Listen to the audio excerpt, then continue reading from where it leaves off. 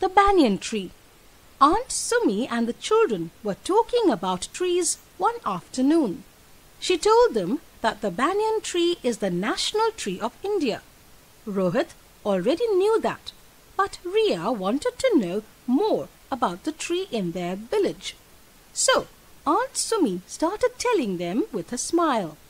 The big tree grew out of a little seed buried deep in the soil. The sunshine warmed its little heart.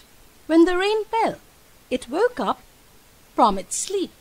One day, it opened its eyes wide. It saw the wonderful world around, and a tiny plant was born. Gradually, the plant grew into a big tree. It spread its branches, flowered every year, and gave fruits that looked like berries. It grew bigger and bigger till it became enormous and had a mesh of branches, trunks, and roots. The banyan tree is like a home to many. It gives shelter and shade.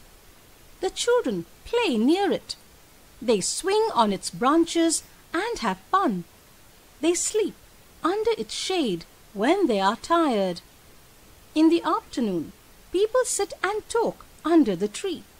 The tree is a home to many birds small animals and insects too.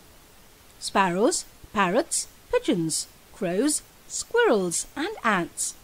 They all live together. The tree gives fresh air and many medicines are made from the different parts of the tree. Ria was amazed to hear all this. The children said together, We too should always love and care for our lovely friend.